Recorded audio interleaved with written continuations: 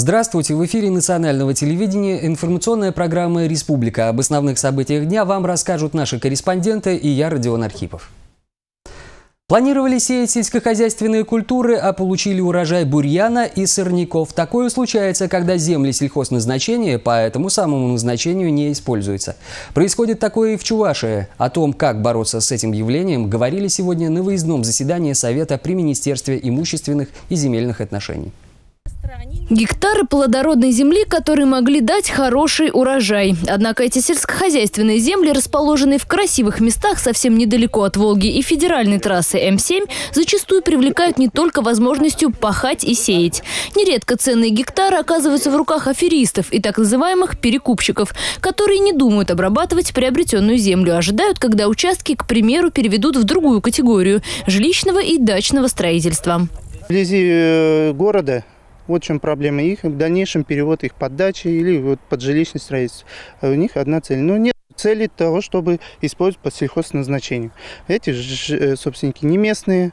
Среди районов, на территории которых чаще всего подобным образом нарушается законодательство об обороте земель, Чебоксарский и Маргаушский. Всего на сегодняшний день в этом поселении не обрабатываем площадей, которые сельхозназначение более 700 гектаров. Это самые большие площади у нас. Те долевики, которые оформили себе долевые земли, уже фактически вот э, как раз по мнимым договорам аренды, вернее, мнимым договорам дарения, они свою долю уступили, право доли. И сейчас они уже через куплю-продажи зарегистрированы эти земельные участки на частные лица. Физические лица, которых, честно скажу, мы не видели ни разу. Все долевики оформлены только по дорогам, где, то есть, лакомые куски, так называемые, около, это около э, где расширение населенных пунктов долевые земли э, в основном затребованы и зарегистрированы собственность, и те, которые вот привлекательные участки ближе к Волге, берегу Волги. С нарушителями Министерство имущественных и земельных отношений борется уже давно. Вероятно, после сегодняшнего объезда к процессу подключатся и общественники. Допустили мы такой факт, что земли они не обрабатываются, но это так не должно быть. Исправлять всегда сложнее. Вы сами знаете, что исправлять всегда сложнее.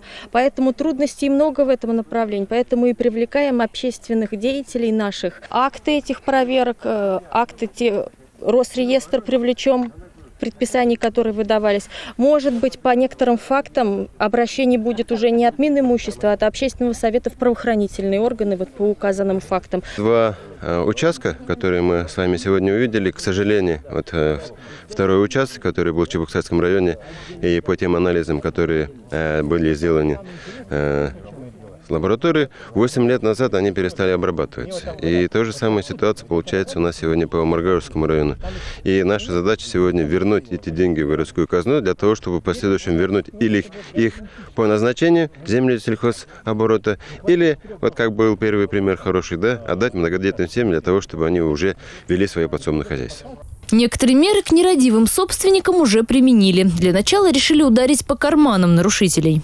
Вопросы использования земель, земель сельхозназначения неоднократно поднимались сегодня, неоднократно ставились на повестку дня главой Чувашской республики Михаилом Васильевичем Игнатьевым. Действительно, это земли особого значения. И на федеральном уровне на них распространяется специальный закон. Соответственно, обеспечение целевого использования таких земель – это обязанность всех собственников. Там, где э, сегодня не используется по целевому назначению земельных участков, соответственно, а, поставлена задача уже применения к этим собственникам а, повышенной ставки налогообложения. Так или иначе, за возвращение земель в сельхозоборот взялась целая команда. Возможно, уже следующей весной вместо сорняков на участках зазеленеют ростки культурных растений. Ольга Пырочкина, Светлана Аликимова, Андрей Спиридонов. Республика. Депутаты Госдумы приняли закон о снижении страховых взносов для индивидуальных предпринимателей. Если документ одобрят Совет Федерации и президент России, он вступит в силу с 1 января 2014 года, сообщают РИА Новости.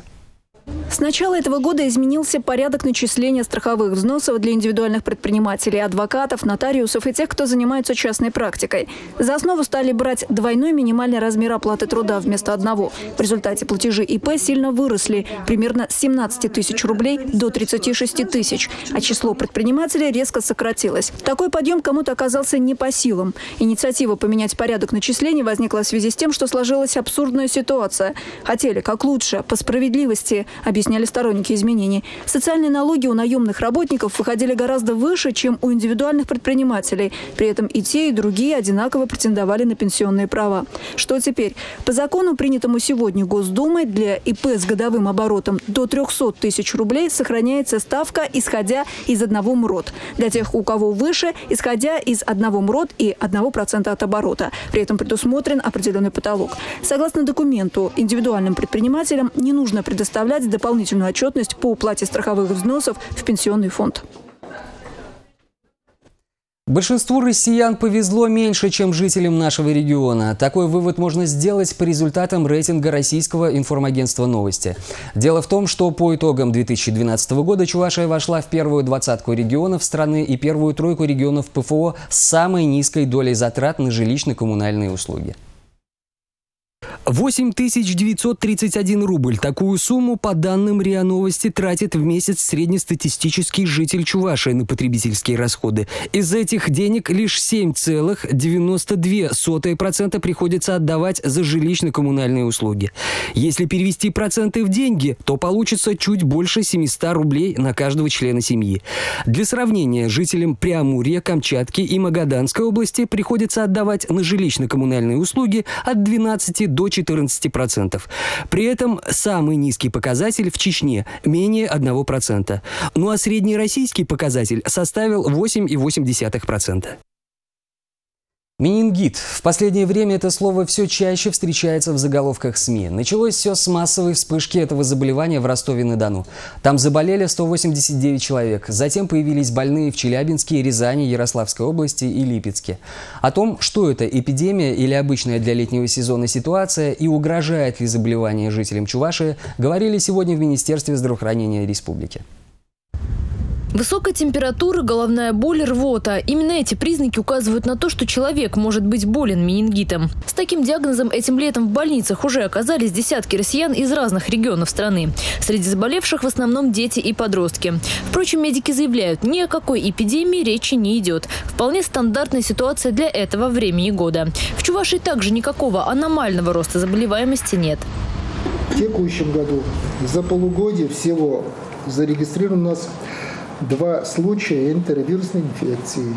Это, и в том числе и при этом один случай как раз энтеровирусного менингита.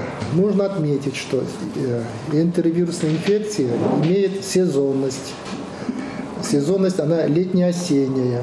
И, как правило, связана вот именно с водным фактором, прежде всего с купанием. Эпизоды, выявленные в Чувашии со случаями заболеваний в других городах, никак не связаны. Но чтобы ситуация в регионе оставалась спокойной и дальше, Роспотребнадзор контролирует все, что может стать источником заражения. На особом контроле водоемы. В этом году у нас в Чебоксарах открылись четыре пляжа. Это центральный пляж номер один, Новосельский и Левобережный. До открытия эти пляжи были обследованы нашими специалистами, проводились лабораторные исследования воды, они соответствовали гигиеническим нормативам, проводится постоянный контроль за качеством и безопасностью питьевого, хозяйственного, бытового водоснабжения. Однако периодически в пробах сточных вод энтеровирус, который может привести в том числе и к менингиту, все же выявляют. Специалисты отмечают, от возможности заболеть никто не застрахован. Э, надо отметить, что все-таки в Чувашской республике случаи энтеровирусной инфекции регистрируются, единичные случаи. Методом ПЦР-диагностики в сточной воде э, подтверждается значит, наличие вирусов, возбудителя этой инфекции. Э, и несмотря на то, что показатели лабораторных исследований качества воды, пищевых продуктов у нас лучше, чем в прошлом году, тем не менее мы не защищены. То есть не могу сказать, что не будет случаев этой инфекции. Пути заражения у этого заболевания весьма разнообразны. Передаваться также вирус может он через грязные руки, плохо вымытые фрукты, через пищевые, опять-таки, продукты. Местах массового скопления людей также возможно э, происходит воздушно-капельным путем заражение. Иными словами, правила элементарной личной гигиены никто не отменял. В условиях, когда по стране регистрируют все новые случаи заболевания, соблюдение пресловутого правила «мойте руки перед едой» может спасти здоровье и даже жизнь.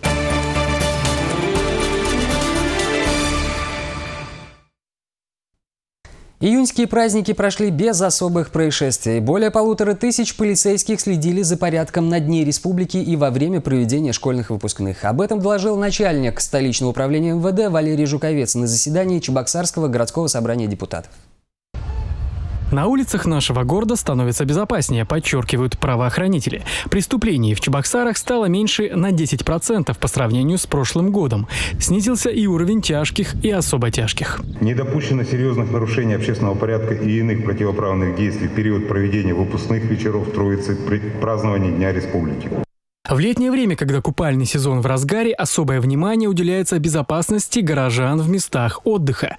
На центральном пляже города установлено видеонаблюдение. Патрулируют полицейские на скутерах. С начала купального сезона там зарегистрировано только два преступления – кража сумки и велосипеда. В Заволжье следят за порядком два экипажа полицейских. Мы для себя определили, скажем так, 10-минутный порог прибытия сотрудника по любому сообщению человека, по любому. Э, ну, практически стопроцентное у нас э, выполнение этого, скажем так, норматива. Депутаты городского собрания единогласно поддержали передачу школы Олимпийского резерва по спортивной гимнастике в государственную собственность Чувашской республики. Раньше она принадлежала городу. Дмитрий Точилов, Татьяна Трофимова, Евгений Анисимов, Республика. В детском лагере «Золотой колос» новый скандал. 18-летний вожатый нанес побои 10-летнему воспитаннику лагеря. Этот же вожатый, как оказалось, участвовал в издевательствах над детьми, которые были сняты на камеру мобильного телефона и выложены в сеть 25 июня.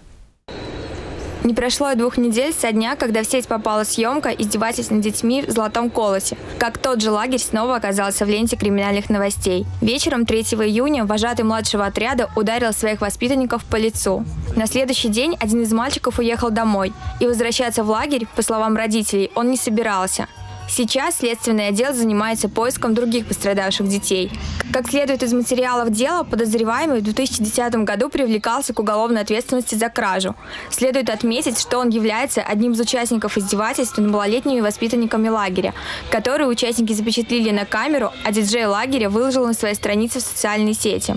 О нанесении подозреваемым побоев десятилетнему мальчику сообщила мать последнего после размещения в СМИ призыва следователей к родителям, чьи дети, возможно, также пострадали от неправомерных действий вожатых во время пребывания в этом лагере.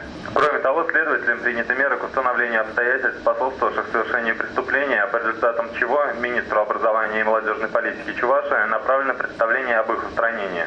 Так, по данным следствия, должностными лицами Минобразования Республики надлежащая работа по подбору и подготовке кадров для работы с детьми в качестве вожатых в лагере «Золотой колос», эффективному мониторингу их деятельности на предмет педагогической компетентности не велась.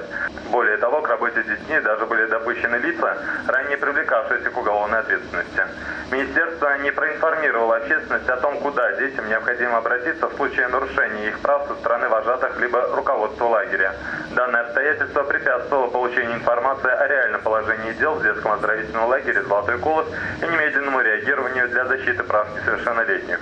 Следователям предложено принять меры по недопущению впредь подобных нарушений и привлечь виновных должностных лиц Минобразования Чуваша к дисциплинарной ответственности.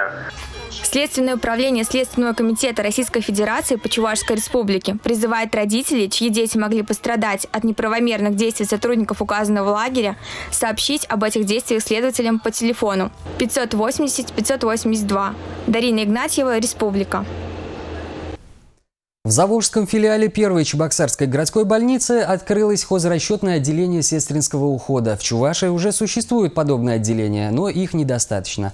О том, как работает Заволжское отделение, узнавала наша съемочная группа.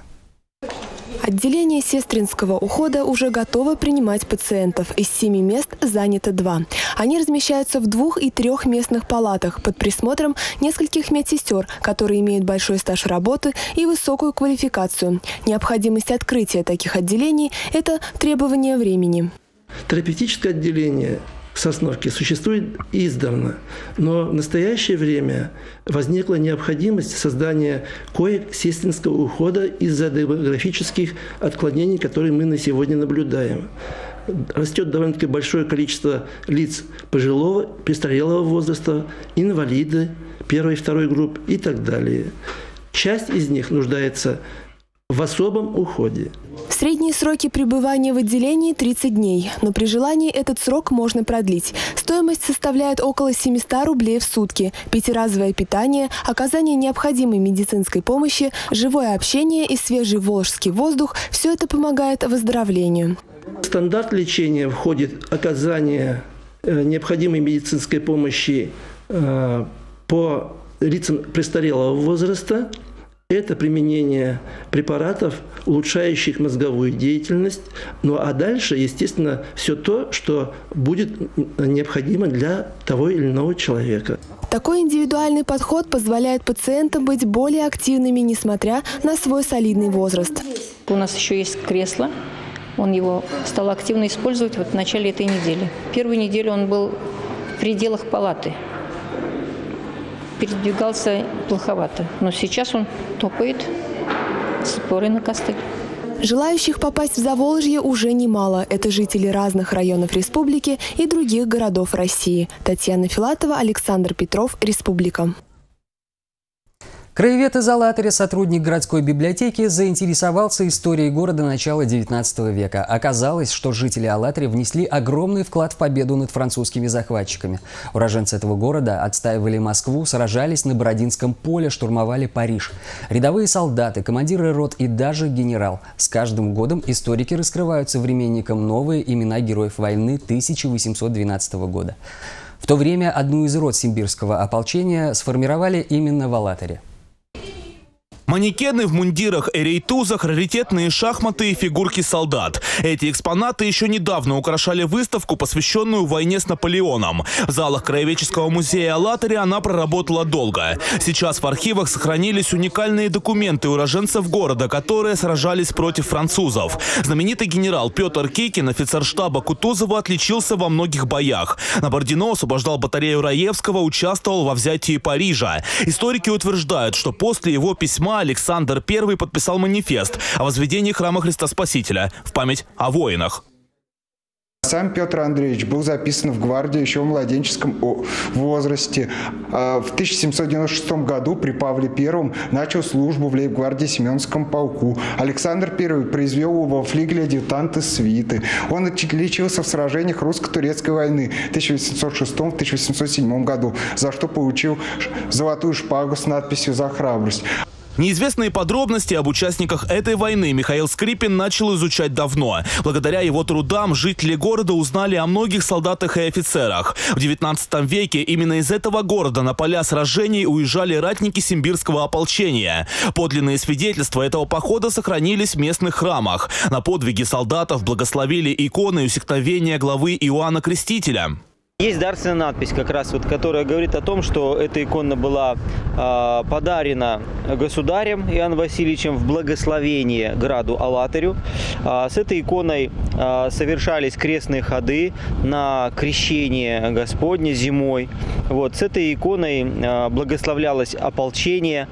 Правда, самой иконы в городе сейчас не осталось. В память об участнике войны на территории женского монастыря хранится часть надгробия. Но раньше в городе существовал и настоящий некрополь воинов. Стояла э, красивая церковь, Успенская церковь, построенная на средства генеральши Иевлева еще в 18 веке. А в 19 веке эта церковь была своеобразным памятником войне 1612 года.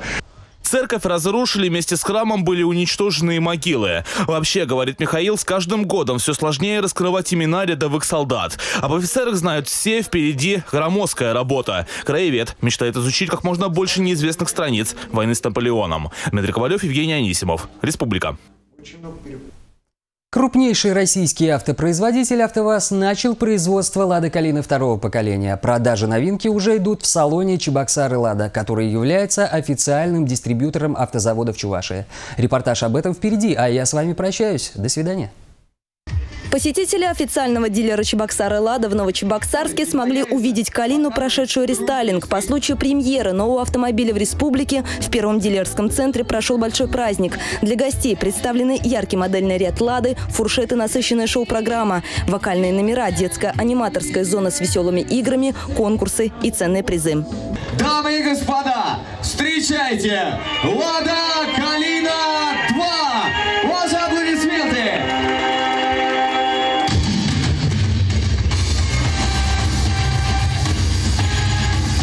На подиуме красуется автомобиль обновленный хэтчбэк «Лада Калина» 2013 модельного года. Автомобиль приобрел вид современного и спортивного кара. Стоит отметить, что это первые изменения, которые были внесены в экстерьер и интерьер машины с момента начала продажи в 2004 году. Первое авто поступило в Чебоксары «Лада» 1 июля. Продажи в дилерском автосалоне уже начались. Будет и по заказу привозиться автомобиль, и поступать просто так в продажу. На данный момент у нас более 30 автомобилей на стоянке. Соответственно, в этом месяце будет еще, а так планируется пока по 30-40 автомобилей в месяц будут в свободной продаже. На что падает взор сразу – это новый кузов. Передняя часть автомобиля обзавелась новой оригинальной оптикой, агрессивным бампером с огромной пастью воздухозаборника, стильными вставками, на которых разместились противотуманки, капотом с выступающими ребрами. При взгляде сбоку на новый кузов «Лада Калина» сразу заметно увеличившиеся в объеме колесные арки с гармоничными широкими выштамповками по кромке. Но общий силуэт, знакомый глазу, не изменился.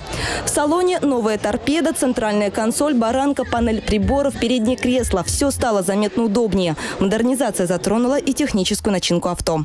Такие э, опции в автомобиле, как антиблокирующая система тормозов, подушка безопасности теперь выходит и в комплектации нормы и стандарт, в отличие от предыдущей «Калины», на которую выходила только в топовой комплектации. В топовой комплектации «Калина 2» уже будет система курсовой устойчивости. Вот. Это что касается безопасности. А, также добавляется новый силовой агрегат, новый двигатель 21-127 с тросовым приводом с увеличенной мощностью 106 лошадиных сил. «Калина» стала более комфортабельной и одновременно драйверской на ходу. Убедиться в правдивости этих утверждений можно только на тест-драйве. Новый автомобиль будет выпускаться в кузове «Универсал» и «Хэтчбэк». В продажу новинка поступила в Чебоксары «Лада» уже сейчас. По цене 324 тысячи рублей за хэтчбэк в начальном уровне комплектации «Стандарт». Версия «Люкс» оценивается в 445 тысяч рублей. Стоимость нормы составляет 372 тысячи. Выбрать свою новую «Калину» официального дилера в Чувашии можно в удобное время в автосалоне «Чебоксары» «Лада» в Новочебоксарске с 8 утра до 8 часов вечера в любой день недели.